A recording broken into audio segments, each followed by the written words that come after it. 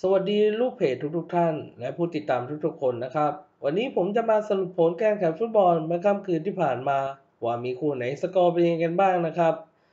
เรามาเริ่มต้นกันที่ผลฟุตบอลคอนคาเคฟโกลด์คัพรอบชิงชนะเลิศ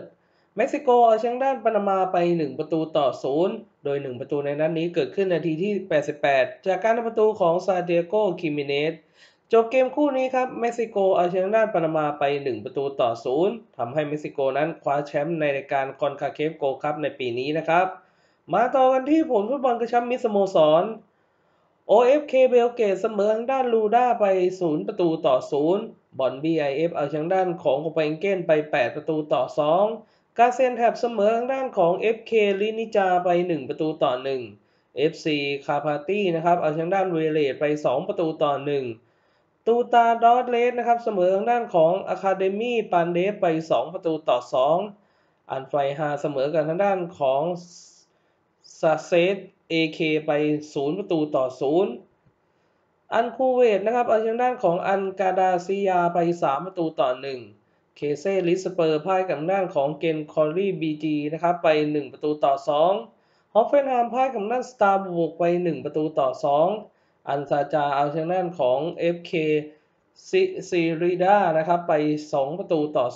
0 โอเล็กซันเดียนะครับเอาชนะด้านของปาตาว่าไป 2 ประตูต่อ 0 วิดีโอตันพ่ายกับด้านฟอร์ตูนาดุยเซดอฟไป 0 ประตูต่อ 5 FK กราฟฟินเอาชนะด้านของ FK พรีเปเล่นะครับไป 3 ประตูต่อ 0 บาลิงเกนเสมอทางด้านเวลิงเกนไป 0 ประตูต่อ 0 เอสฟาลิสบีพ่ายกับด้านมายอก้าไป0ประตูต่อ9 FK เมตาลัสครับเสมอกับทางด้านของ FC วาด้าไป1ประตูต่อ1วอลลอต NFC พ่ายกับด้าน PAE อะโตมิตอสนะครับไป0ประตูต่อ1สเกนเดอร์บูนะครับเอาทางด้านของวอสกาไป 2 ประตูต่อ0สเคเลนนะครับเอาทางด้านของเอสเซล่าไป 4 ประตูต่อ 3 ดันเดล่า FC เอาทางด้านของเกนโตลันไป 3 ประตูต่อ 2 ซอสเฮิร์ตนะครับ เอาทางด้านของคิงแลนลี่ไป 2 ประตูต่อ 1 อันบิดสปอร์ตเอาทางด้านของคาร์ทัสไป 1 ประตูต่อ 0 และเซลตาบิโกเอาทางด้านของอันนาเซอร์นะครับไป 5 ประตูต่อ 0 มาดูในส่วนของผลฟุตบอลกระชับมิตรทีมชาติหญิง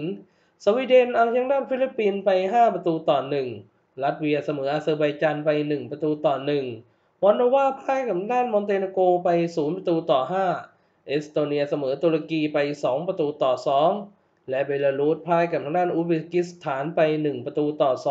2 โอเคนะครับผม นี่ก็เป็นการสรุปผลการแข่งขันฟุตบอลเมื่อค่ำคืนที่ผ่านมา